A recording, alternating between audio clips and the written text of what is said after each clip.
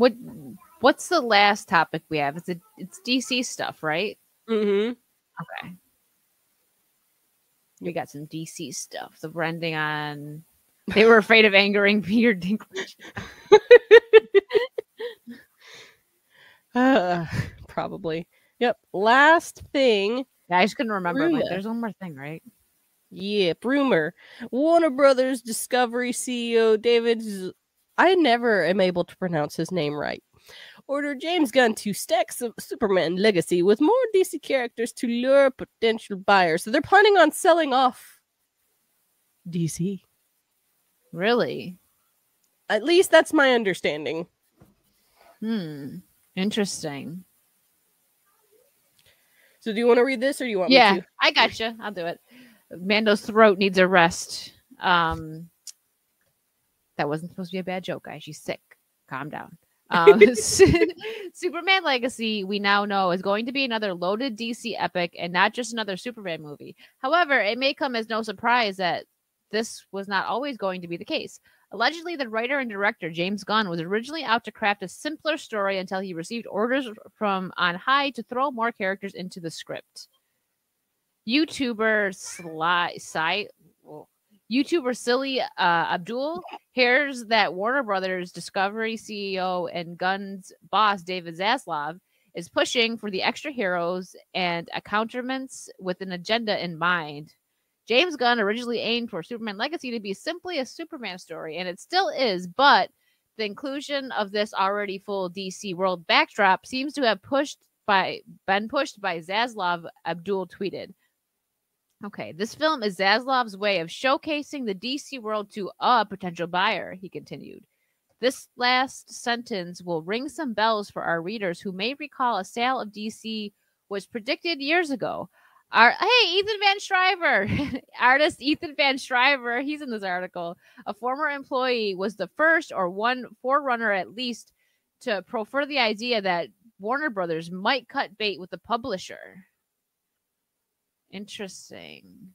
Mm.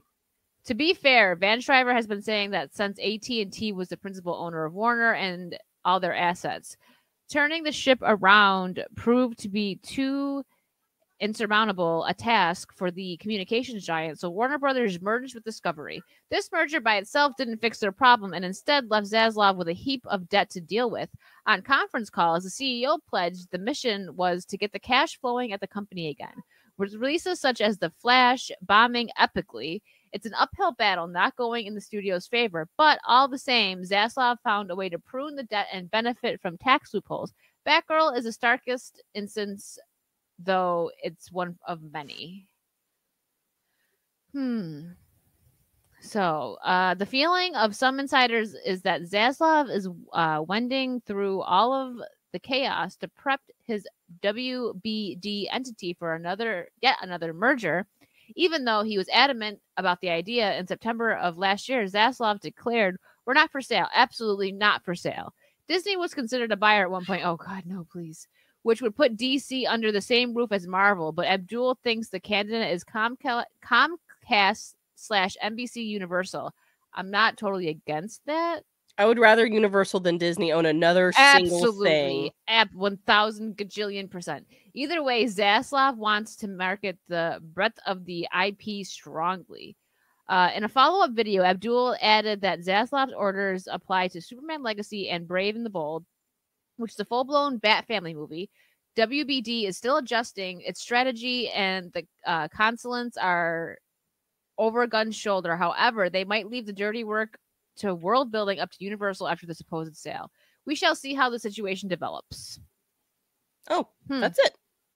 I I mean, if they do sell, Universal is the way to go. I would like. I wouldn't mind Universal having it. I mean, they're already doing better than Disney in a lot of things anyway. So, um, but yeah, I agree with Jared. Like, if they just what if they just left the creatives alone and let them do their thing, they'd be making money. Like, leave the big wigs out of it. Like, they don't know how to make money with with IPs like themselves. this. Just the big wigs, the top people, you fund it. You find somebody that's going to write a good script, that's going to handle all the business, and you keep your social justice, politics, whatever out of it. Just let the creative minds do the creative stuff and you just sit back and sip your drink and whatever the heck you big execs do. Yeah, Rhoda, I agree. It, it, like Universal will destroy Disney if they own DC. Like I will forever be a Marvel fan and love Spider-Man and all of the Marvel people, but straight up I like, mean Universal still has some Spider-Man stuff. My favorite ride at Universal is the Spider-Man ride. They still right? own some parts of it. Like if if they oh, could if they do if they good stuff, too. Bro, like like they can they can make money so fast. They have to hire actual creative people, right? I think that's true. People, too.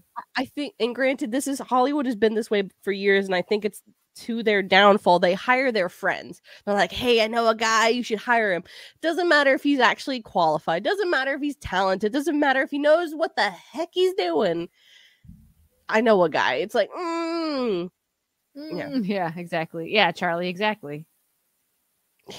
Don't cater to the mob, cater to the people that are actually giving you money because you're catering to the people that are either pirating your movies or just not even going to see them. They just saw something and got mad about it. Yeah. Uh yeah, if, if Universal owns DC, like DC's going to stomp out Marvel. Like it's it's not even going to be a competition. Even if they just do mediocre stuff. They have Batman and Superman.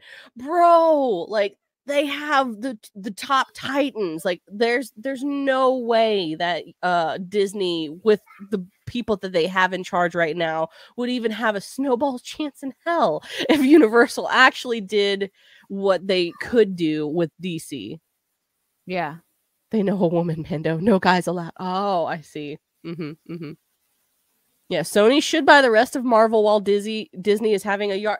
Agreed. Like if Sony Sony having D uh Marvel and then Universal having DC, bro.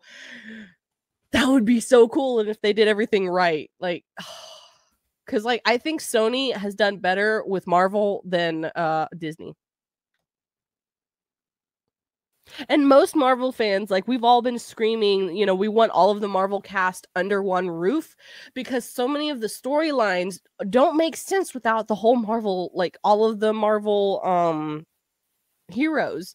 And we were like, I was hopeful. I was like, "Hey, Disney gonna buy all of them. Disney's gonna have all all of the the heroes. It's gonna be great. They're gonna be working together. We're gonna get what we wanted." And just imagine DC at the Universal parks. Yeah. Oh my god.